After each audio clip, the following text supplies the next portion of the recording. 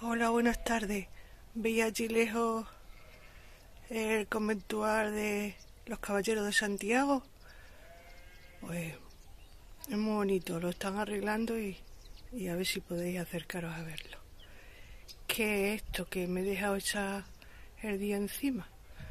Mm, os quería contar mm, por qué llegué yo aquí. Pues llegué porque tenía serios problemas de salud. Me asfixiaba, tenía los pulmones casi casi a punto de la hipo.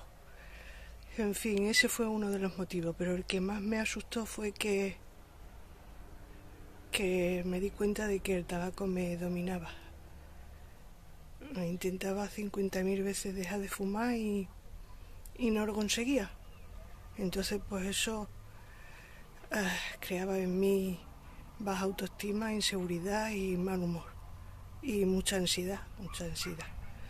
Entonces, pues decidí pedir ayuda y, y pedí ayuda a don Manuel y, y me abrió las puertas de quien dijo miedo en Parramera.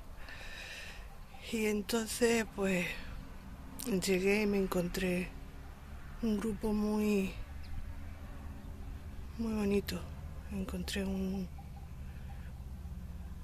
que era un ambiente muy entrañable, muy bonito. Cada vez que tenía un, un mal día o que tenía un, un logro, un avance, lo comentaba en el grupo y, y me ayudaba muchísimo.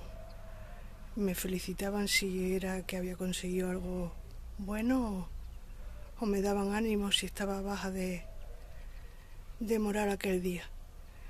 Y eso es lo que he intentado hacer, devolver la ayuda que me han prestado los compañeros y compañeras y, y Manuel Barraga. Y mm, por eso estoy, aquí.